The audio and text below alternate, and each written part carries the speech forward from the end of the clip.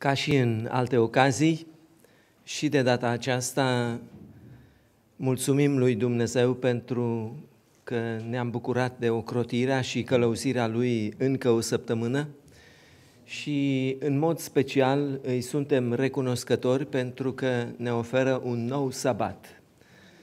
Un timp în care să fim din nou împreună în prezența lui și să putem îndrepta gândurile noastre către El, iar închinarea noastră să fie plăcută în fața Lui și în felul acesta binecuvântarea Lui Dumnezeu să coboare peste noi. Mă bucur să vă spun bun venit la biserică în această seară și doresc ca acest serviciu divin de închinare să ne unească pe toți în aceeași cugetare și împreună să descoperim ceva din ceea ce înseamnă voia lui Dumnezeu pentru noi oamenii. De asemenea, mă bucur să spun bun venit celor care ne urmăresc pe calea internetului. Și chiar dacă nu suntem împreună în același loc, suntem împreună pe aceeași lungime de undă a cuvântului lui Dumnezeu, care ne unește în spirit și care ne face să privim cu toții spre aceeași direcție, adică spre Dumnezeu, care ne binecuvintează pe toți oriunde ne-am aflat. Așa cum ne-am obișnuit, și de data aceasta vom face încă un pas în studiul nostru asupra cărții prorocului Daniel. Dacă ar fi să ne raportăm la numărul de capitole uh, ale cărții lui Daniel, am putea spune că am ajuns la jumătatea cărții. Am parcurs șase dintre cele 12 capitole ale cărții lui Daniel. Vă amintiți? Primul capitol în care Daniel și tovarășii săi, uh, da, tovarășii săi au ajuns robi în Babilon și acolo au intrat într-un curs de instruire pentru ca să slujească la casa regală din Babilon. Capitolul 3 ne-a prezentat experiența celor trei tineri care nu s-au închinat chipului ridicat de împăratul Nebucadnețar în câmpia Dura, au fost aruncați în cuptorul de foc, dar au fost salvați într-un mod cu totul ieșit din comun prin puterea și intervenția lui Dumnezeu. Capitolul 4 ne-a prezentat experiența lui Nebucadnețar cel mândru, visul lui cu copacul cel mare, experiența lui prin care a fost smerit și în urma căreia a fost uh, gata să recunoască, pe de o parte, puterea lui Dumnezeu și pe de, pe de cealaltă parte, călăuzirea lui Dumnezeu în ceea ce privește soarta națiunilor și a oamenilor. Capitolul 5 a fost capitolul cu ospățul lui Belceațar, uh, după care a avut loc și căderea Babilonului.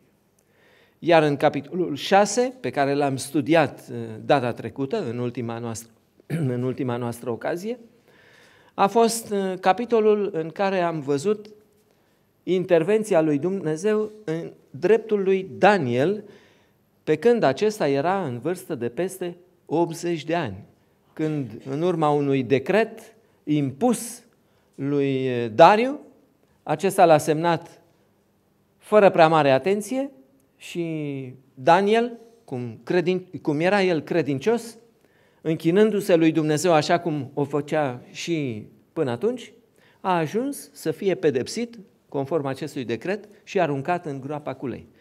Dumnezeu însă a intervenit pentru el și a ieșit de acolo teafăr nevătămat.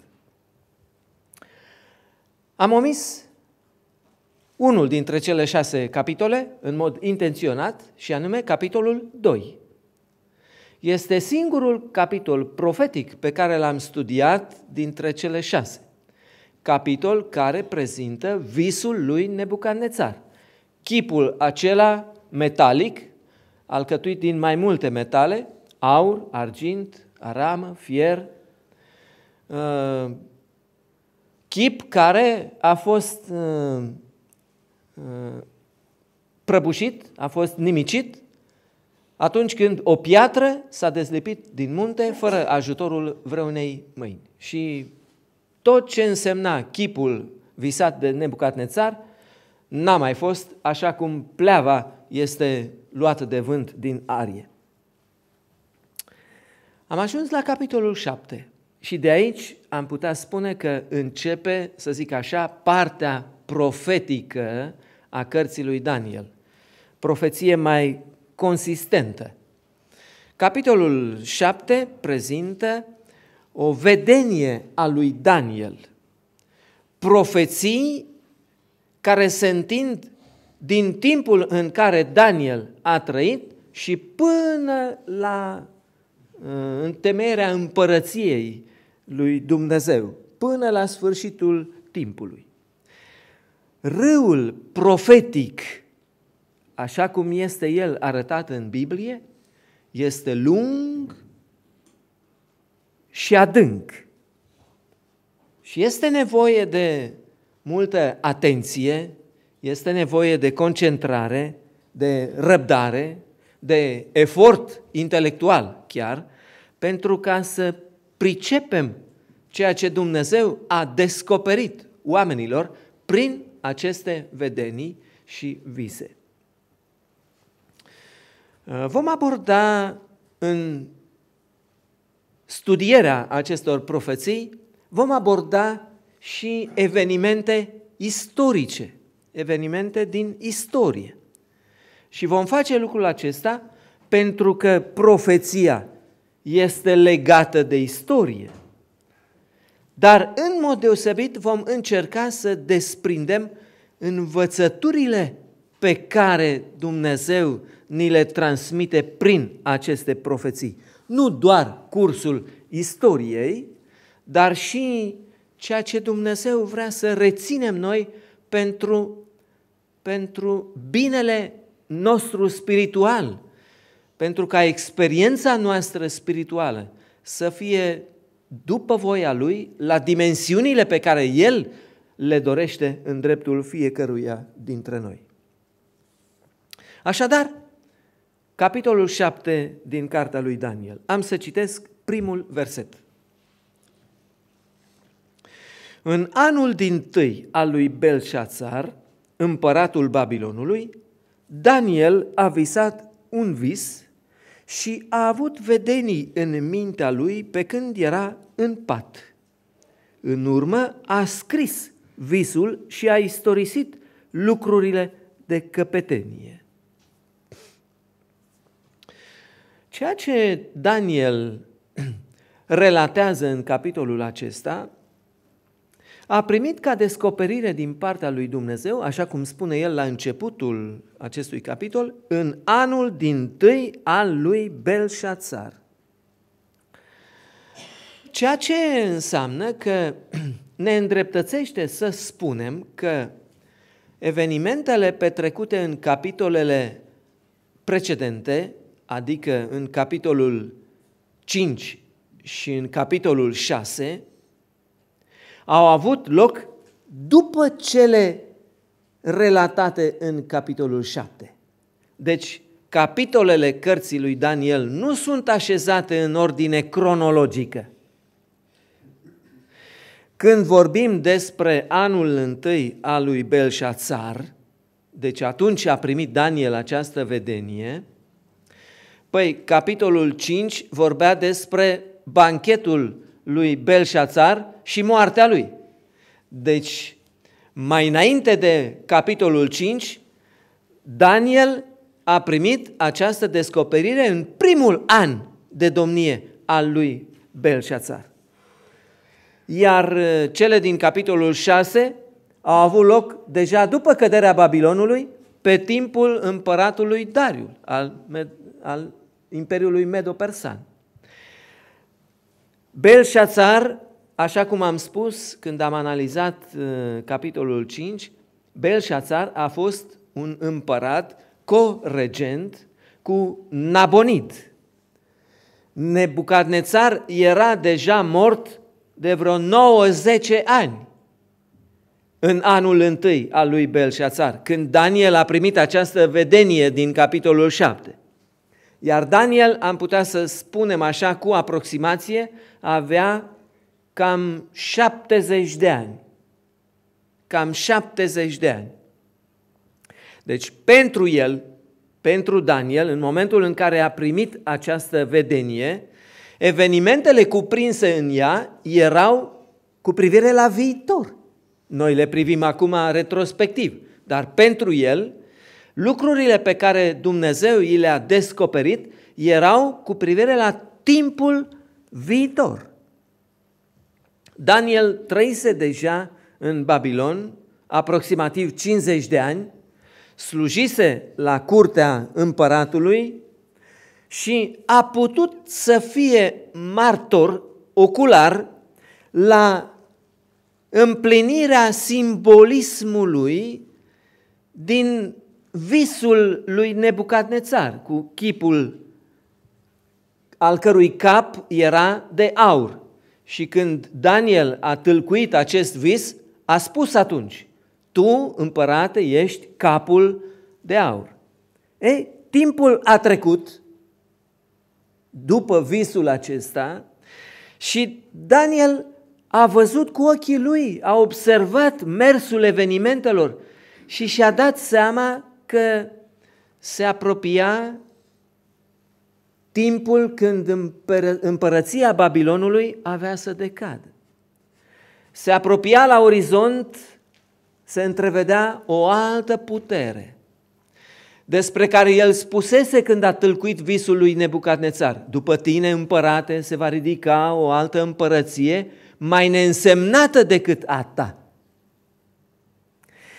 Um, capitolul 7 acoperă cam aceeași perioadă de timp ca și capitolul 2 la care am făcut uh, referire, cu visul lui Nebucadnețar.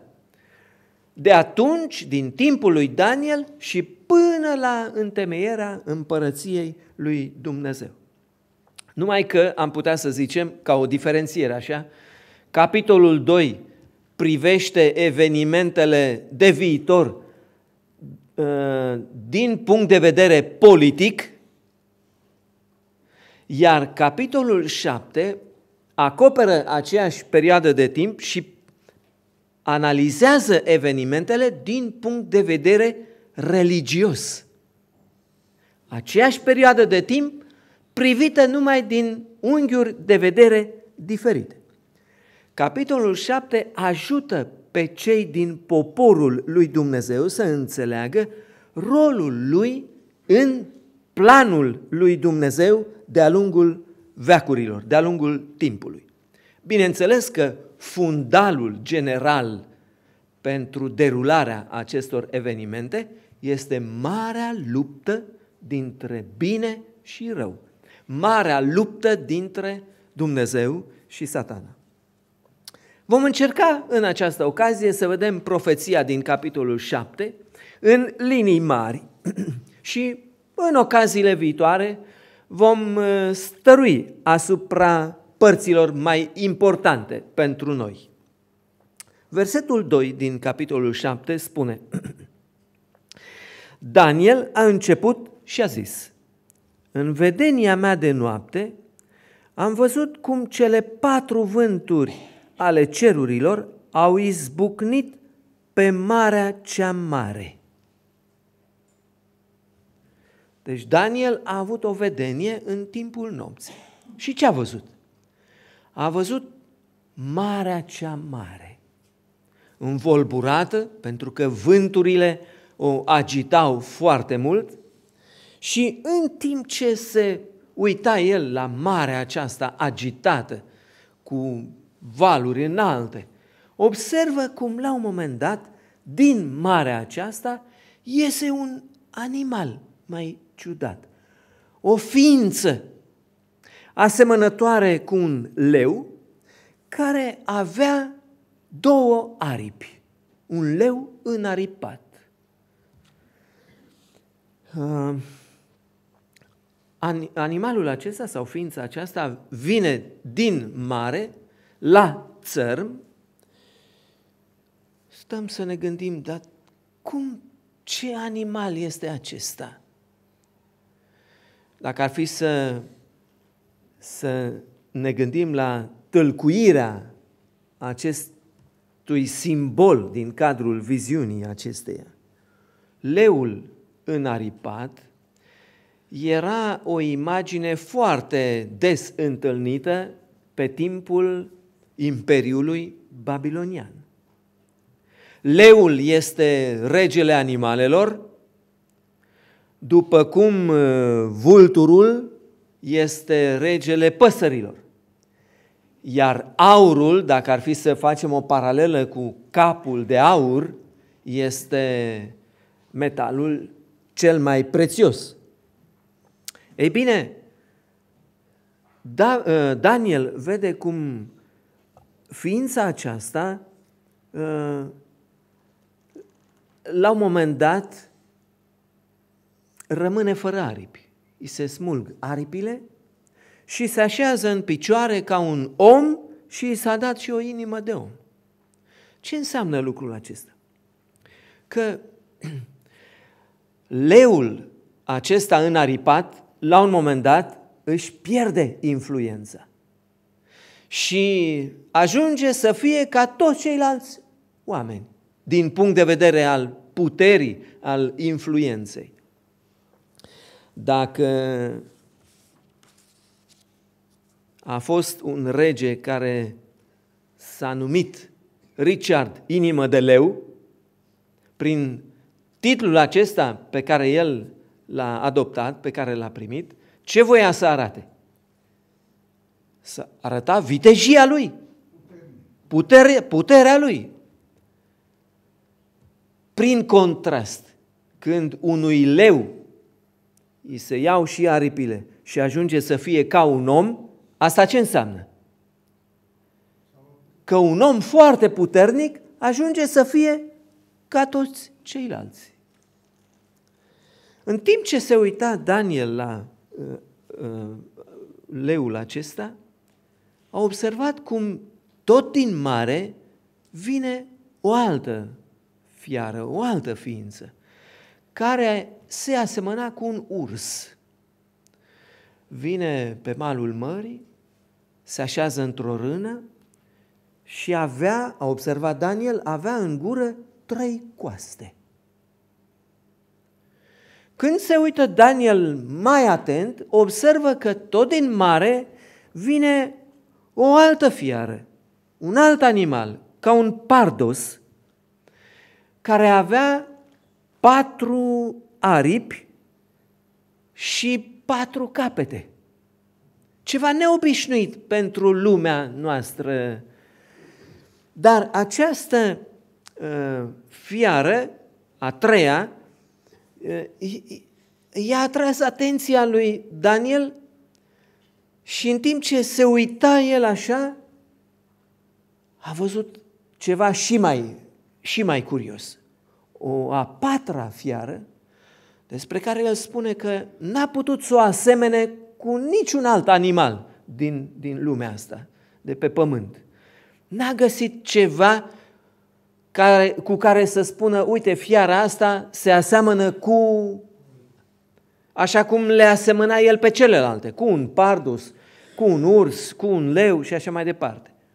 Ei, fiara aceasta era, după cum spune Daniel aici, grozav de înspăimântătoare. Avea dinți de fier, avea zece coarne. Fiara aceasta era cu totul aparte de ceea ce văzuse Daniel până atunci.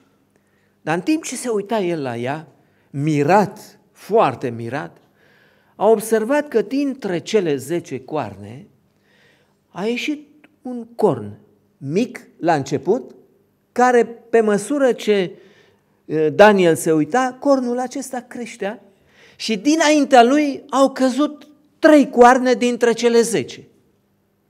Și cornul acesta mic, pe care l-a observat el, a tot crescut, avea ochi ca de om și gură care vorbea într-un mod așa foarte, cu multă mândrie și cu multă trufie.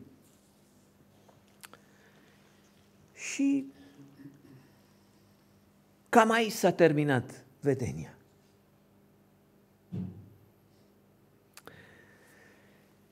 E de întrebat ce să însemne lucrurile acestea. Pentru că atunci când citești Biblia și afli despre animale de felul acesta, rămâi așa puțin mirat, cu semne de întrebare și zici, Doamne, dar lucrurile astea chiar vor să spună ceva, chiar arată ceva sau e pentru altă lume, pentru alte ființe, numai pentru oameni nu. Aș vrea să spun ceva, dragii mei, despre vorbirea figurată a Scripturii. E bine să știm, simbolurile pe care le descoperim în Biblie, în vedenii de felul acesta, ele ne transmit nouă ceva. Și așa cum Petru spunea despre cuvântul prorociei, la care bine faceți dacă luați aminte, e bine să luăm aminte și să vedem ce vrea să ne arate nouă limbajul acesta simbolic din cartea pe care o studiem noi. De exemplu, am citit în versetul 2 cum Daniel se uita la marea cea mare. Ma, probabil că multe mări sunt pe planeta aceasta. Care dintre ele? Că nu e una mică, să zici, o mare mică. Toate mările sunt mari. Ce înseamnă lucrul acesta? Ce simbolizează lucrul acesta? Dar vânturile care agită marea, dar uh, coarnele, dar uh, coastele, dar uh, capetele și așa mai departe. Vă invit să vedem câte ceva în legătură cu această vorbire simbolică. Și am să citesc acum câteva texte biblice. Și aș vrea să ținem cont de un lucru. Atunci când studiem Biblia, este nevoie să avem în vedere niște reguli după care ea trebuie să fie studiată pentru ca să fie înțeleasă. Una dintre regulile pe care trebuie să o avem în vedere este aceea că Biblia se explică pe ea însăși. Biblia se explică pe ea însăși. Atunci când studiem Biblia, nu trebuie să avem în vedere părerile unuia sau ale altuia sau trebuie să căutăm înțelesul în Biblie și să comparăm text cu text, pasaj cu pasaj, anumite cărți între ele și să vedem în context ce vrea să ne învețe Scriptura. Uitați, eu aș vrea să citesc acum câteva pasaje biblice, să vedem ce înseamnă elementul acesta simbolic, marea cea mare. Dacă aveți Biblia la îndemână, vă rog să o deschideți în cartea prorocului Isaia, la capitolul 17. Și aici vom citi versetul 12. Vai, ce vuiet de popoare multe, care urlă cum urlă marea! Ce zarvă de neamuri care mugesc cum mugesc niște ape puternice! Neamurile mugesc cum mugesc apele mari. Observați ce vrea să spună Isaia aici. Observați comparația. Vreau să mai citesc încă un uh, pasaj în cartea lui Ieremia, capitolul 46. Și anume versetul 7 și versetul 8. Cine este acela care înaintează ca Nilul și ale cărui ape se rostogolesc ca râurile? Iar în versetul 8 este și răspunsul. Este Egiptul. El se umflă ca Nilul și apele lui se rostogolesc ca râurile. Dau o filă mai departe și la capitolul 47 citesc primele două versete. Iată cuvântul Domnului spus prorocului Ieremia cu privire la filisteni, înainte ca faraon să bată Gaza. Așa vorbește Domnul. Iată, se ridică niște ape de la miază noapte, cresc ca un râu ieșit din matcă, înneacă țara și ce cuprinde ea, cetatea și locuitorii ei. Ce înțelegem noi din toate aceste pasaje pe care le-am citit? Că de fapt elementul acesta, marea sau râurile care se umflă, se referă nu la ape în mod propriu zis, ci se referă la popoare care năvălesc, care se frământă. Și ca să punem, să zic așa, punctul pe ei, uitați ce spune vizionarul Ioan în ultima carte a Bibliei, Apocalips, la capitolul 17, versetul 15. Apoi mi-a zis, apele pe care le-ai văzut sunt noroade, gloate, neamuri și limbi. Observați că Biblia ne explică ce înseamnă când Daniel se uită și vede marea cea mare. De fapt, ce înseamnă lucrul acesta? El vede lumea asta, popoarele lumii. Nu? nu el nu, profeția aceasta are în vedere nu apele mării, ci are în vedere popoarele lumii la vremea când Daniel avea această viziune. Nu folosim și noi uneori expresia asta. Domne, m-am dus în oraș sau m-am dus în piață, era o mare de oameni. Ați auzit expresia asta? Este ceva simbolic, pentru ca să arătăm că era foarte multă lume, nu? Mulți oameni. Dar vânturile, că spune Daniel privea la marea cea mare și vânturile cerurilor au izbucnit. Vânturile acestea care agită marea reprezintă neînțelegerile dintre oameni, frământările diplomatice, războaiele care au loc între popoare, între neamuri. Dar dacă privim la, la frământările acestea ale neamurilor, din ele, așa cum marea era agitată de vânturi, și din ea a ieșit un leu, un urs, un pardos. În urma frământărilor politice și diplomatice ale lumii, iese cât un învingător care stăpânește. Leul altădată ursul, mai târziu pardosul și vom vedea mai târziu ce înseamnă lucrul acesta. Când Daniel spune că a văzut un leu care avea două aripi, pardosul câte aripi avea? Patru aripi. Patru aripi. Ce înseamnă aceste aripi? În limbaj simbolic, ele practic ce înseamnă? Acestea reprezintă viteza sau repeziciunea oștirii atunci când este vorba despre războaie, despre cuceriri. Uh, aripile dau viteză unui animal în limbaj simbolic. Când uh, Daniel observă că ursul are trei coaste în gură. Dacă facem paralela profeției din Daniel 7 cu cea din capitolul 2, după Imperiul Babilonian a urmat Imperiul Medo-Persan. Ursul acesta care este văzut de Daniel ieșind din mare, stând într-o rână și având trei coaste în gură.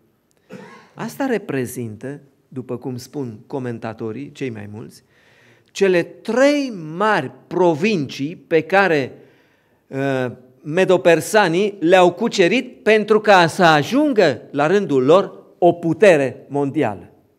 Cele trei provincii mari, puternice la vremea aceea, erau Lidia, regatul Lidia, al cărei împărat Cresus era cel mai bogat împărat la vremea respectivă, al doilea regat era Egiptul și al treilea, poate cel mai puternic, era Babilonul. Când Medo-Persia a cucerit și Babilonul, deja s-a afirmat ca fiind o putere la nivel mondial. În viziunea aceasta observăm, de exemplu, Pardosul, că avea patru capete. Patru capete. Comentatorii spun că Pardosul acesta reprezintă puterea mondială care a urmat după Medopersia.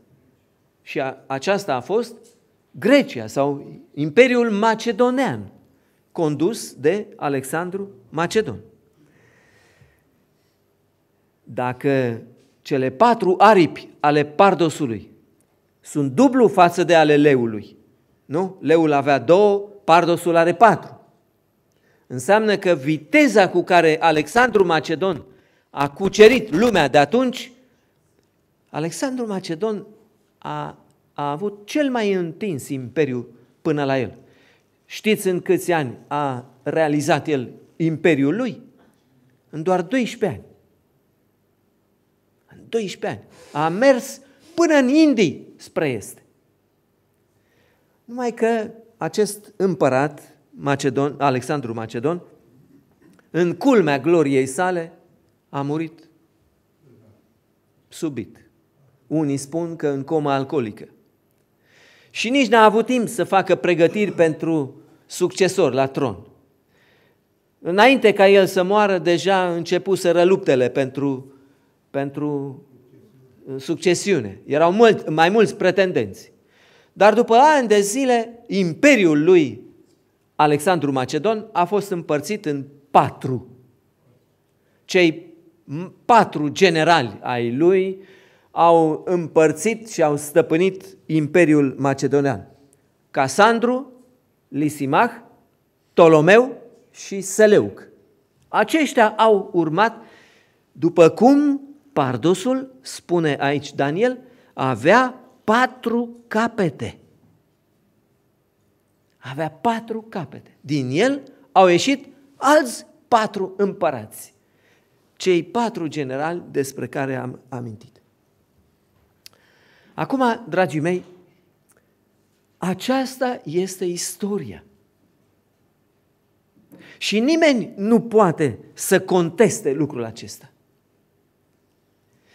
Istoria este relatată în scriptură.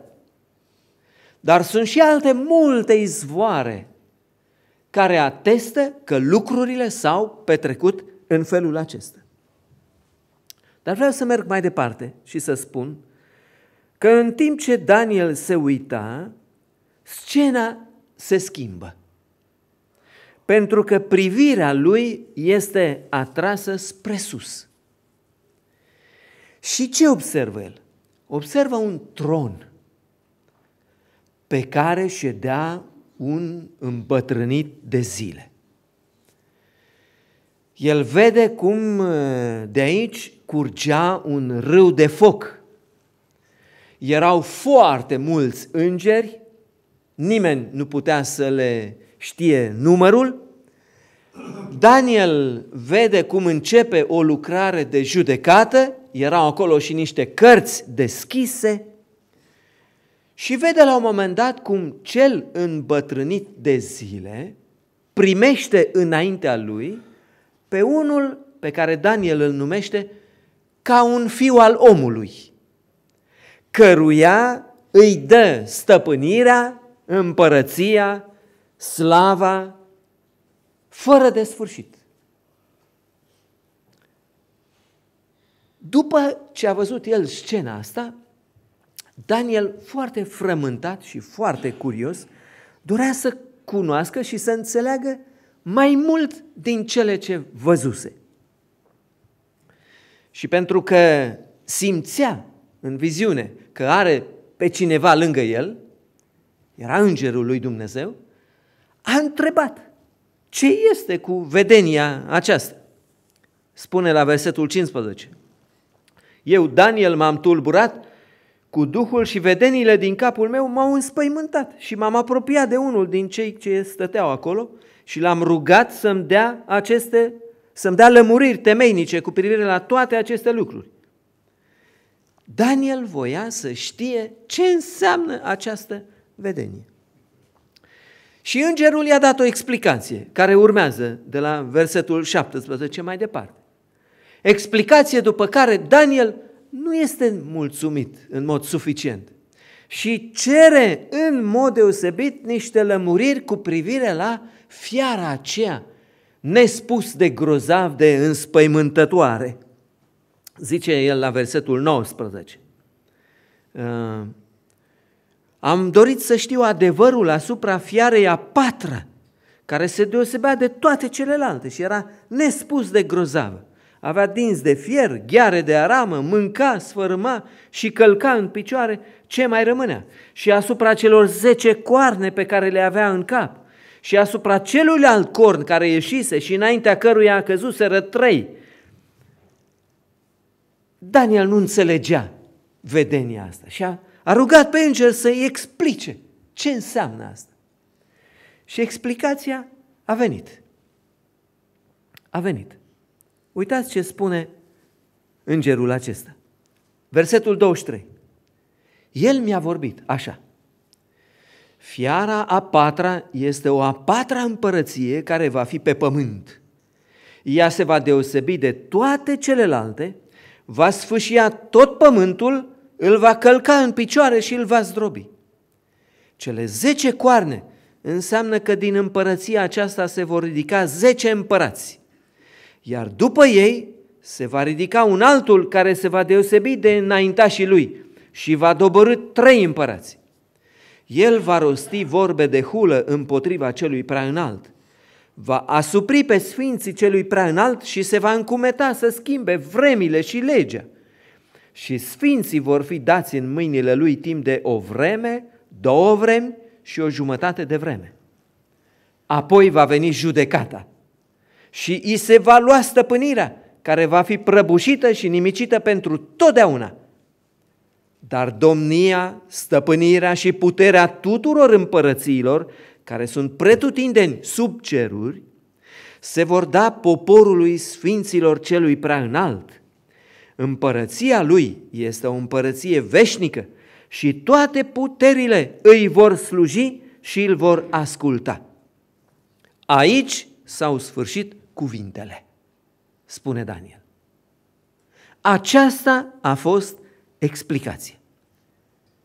O explicație sumară cu privire la fiara aceasta a patra. Ea este, uh, reprezintă Imperiul Roman, care a urmat după Imperiul Grec sau Macedonean. Uh, ca o paralelă, Imperiul acesta roman reprezintă partea de fier din chipul visat de Nebucadnețar. Prin bătălia de la Pitna, înainte de Domnul Isus Hristos, în anul 168, Imperiul Roman a pus capăt monarhiei macedonene.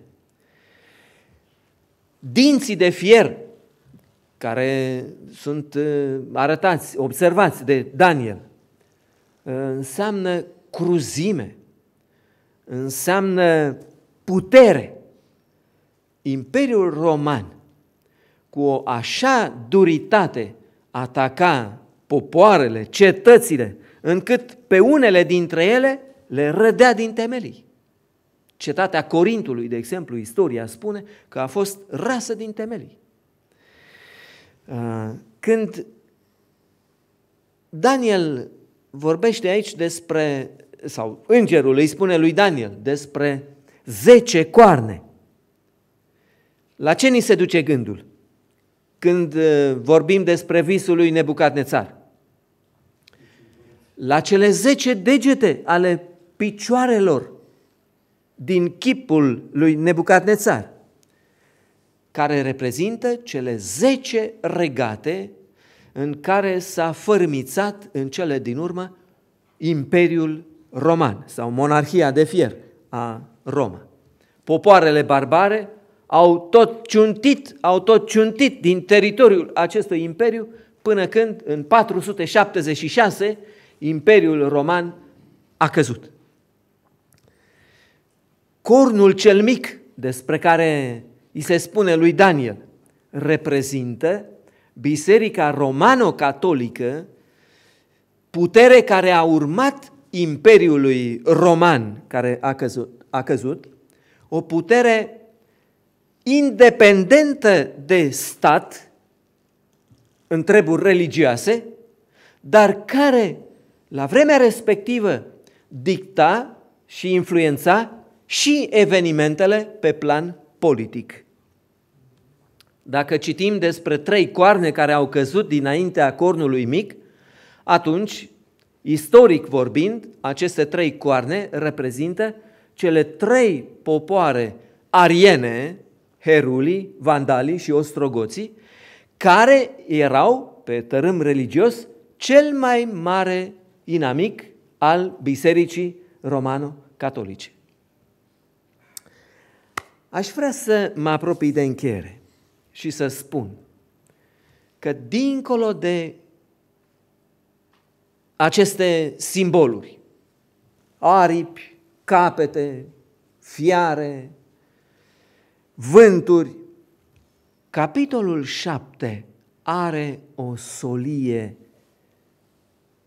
generală pentru noi.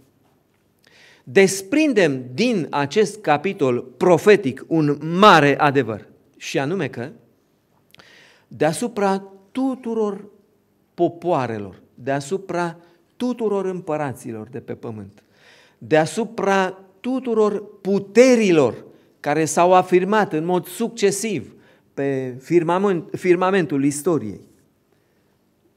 Dumnezeu este Cel care este la cârma evenimentelor.